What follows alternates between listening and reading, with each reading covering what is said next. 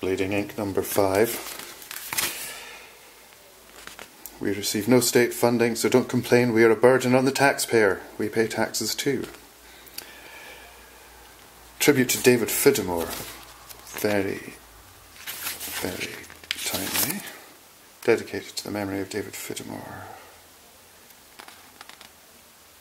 That looks good. And an interesting um,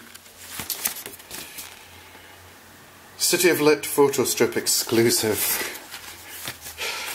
It says recently the incomparable UNESCO City of Literature, after one of its ineffable literary salons, ran an egg and spoon race in Makars Court. I kid you not.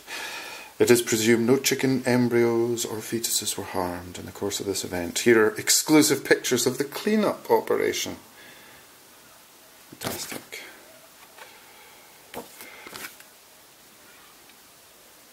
Cheap, provincial, and produced in a hurry by an appalling editor, Bleeding Ink contains a number of items you've just got to read.